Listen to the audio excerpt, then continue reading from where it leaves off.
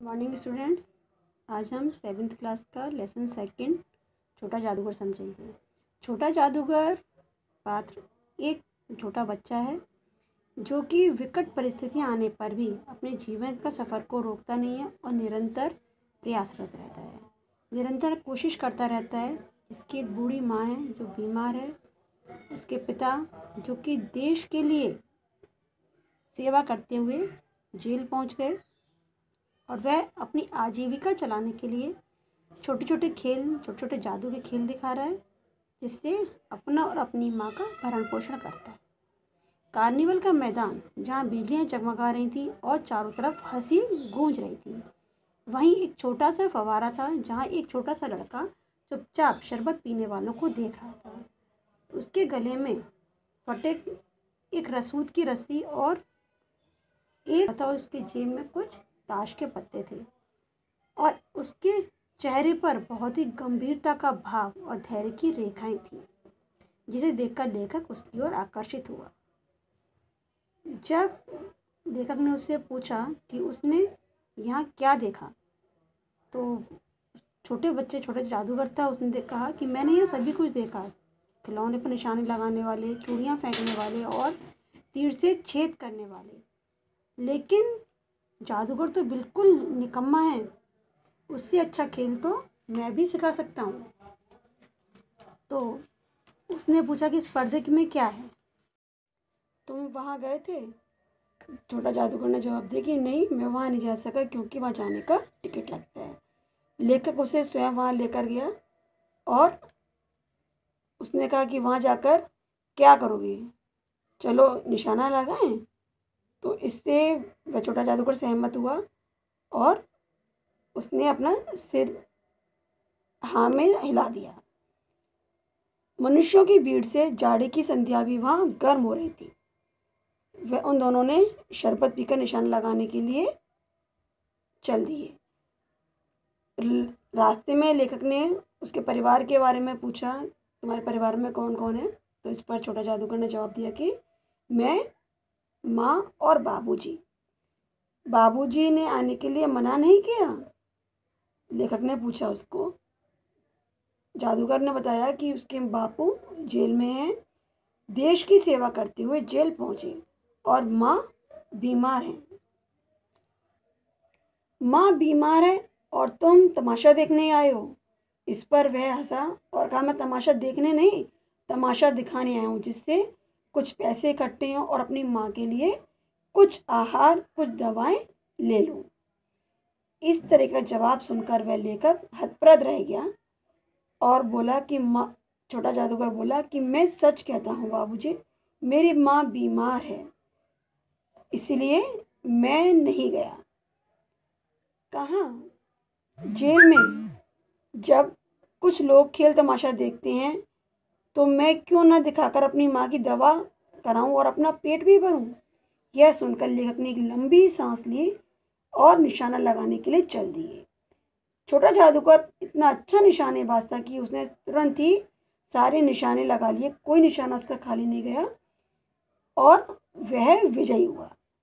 उसने सारे खिलौने अपने समेट लिए, कुछ जेब में रखे और कुछ उस लेखक के रुमाल में बाँध लिए और वह लेकर चला गया लेखक ने सोचा कि बहुत ही तेज है कि तुरंत इतनी जल्दी आँख बदल ली, लेकिन जब वह बोटानिकल उद्यान में खेल घूम रहा था तो देखा कि एक झूले के ऊपर से आवाज़ आई, बाबूजी, मैं यहाँ हूँ। तो उसने देखा कि ऊपर छोटा जादूगर बैठा हुआ है। एक बार जब वह घूम रहा था तो देखा कि हाथ में चार खाने की खादी का झोला, साफ़ आधी बाहों का कुर्ता और सिर पर एक सूती रुमाल जो लेखक का था, वह रस्सी से बांधा हुआ मस्तानी चाल में झूमता हुआ आ रहा था। लेखक से पूछा, क्या आज तमाशा दिखाऊँ? लेखक ने मना कर दिया। इसके बाद वह उसने दोबारा बोला तो वह क्रोध में आ गया, लेकिन उससे पूर्वी जो लेखक की श्रीमती जी थी, उन्होंने कहा कि मैं तमाशा, श्रीमती जी ने कहा कि तुम तमाशा दिखाओ। लेखक उसको रोक ना सका और उसने खेल दिखाना प्रारंभ किया। एक के बाद एक नए नए खेल दिखाने लगा। वह जो खिलौने जीत के लाया था, उन्हीं खिलौनों से उसने कहीं गुड़िया का विवाह, कहीं गुड्डे का वर का काना निकलना, कहीं बंदर की खुड़की आदि खेल देखा, जिसे देखकर सभी लोग लोटपोट हो गए। लेखक सोचने लगा कि इतनी छोटी उम्र में इतना चतुर बना दिया इस बालक को। यही तो संसार है।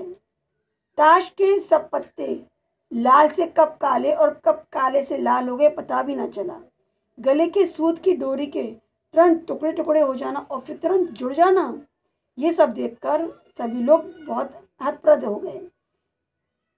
ये खेल देखने के बाद जो श्रीमती जी थी, उन्होंने उसे एक रुपया दिया यह रुपया पाकर छोटा जादूगर इतना प्रसन्न हुआ कि खुशी से झूम उठा। वह बोला, यही तो मेरी जीविका है। वह कुछ बोलता। इससे पहले श्रीमती जी ने पूछा कि, तुम इस एक रुपये का क्या करोगे? छोटे जादूगर ने जवाब दिया कि, पहले मैं इससे भरपेट पकौड़ियाँ खाऊँगा, फिर एक सूती कंबल खरीदूँगा। यह सब सुनकर लेखक का गुस्सा समाप्त हुआ। वह नमस्कार करके चला गया और लेखक लोग लता कुंज देखने के लिए निकल गए।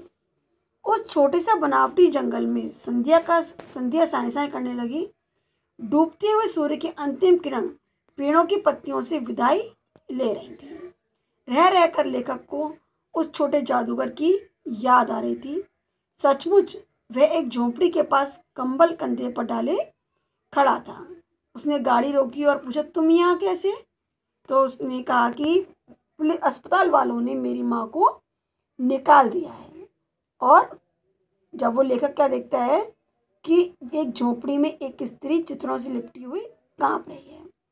छोटे जादूगर ने अपना कंबल निकाला और उसके शरीर से चिपटते हुए कहा, माँ, मेरी आँखों से आँसू निकल पड़े। मतलब लेखक की आँखों से आँसू निकल पड़े।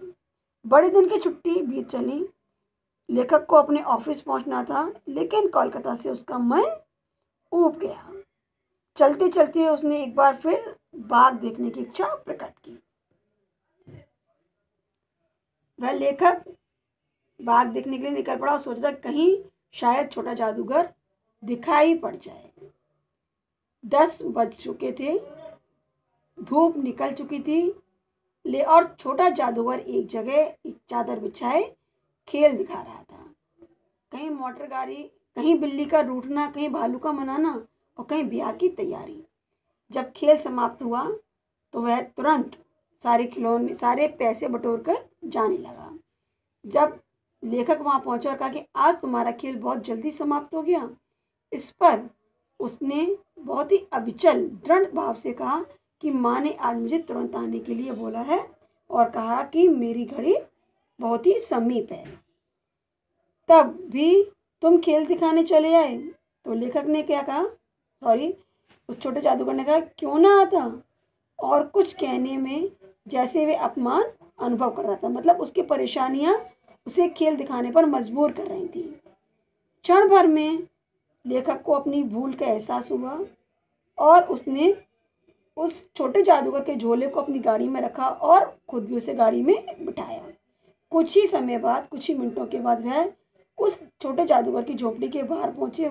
तुरंत गाड़ी से उतर कर छोटा जादूगर दौड़ते हुए अपनी माँ माँ, अपनी माँ को पुकारता हुआ झोपड़ी में घुस गया। उसके पीछे पीछे लेखक भी। किंतु स्त्री के मुँह से केवल बे शब्द निकल कर रह गया। उसका दुर्बल हाथ उठकर गिर पड़ा। जादूगर उससे लिपट कर रो रहा था और उस साफ़ धूप में सारा संसार जैसे जादू का सा खेल नचर आने लगा।